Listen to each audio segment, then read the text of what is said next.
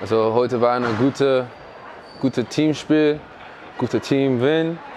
Also jetzt müssen wir bereit machen für nächstes Wochenende gegen Itzehoe. Und ja, die Arbeit geht weiter.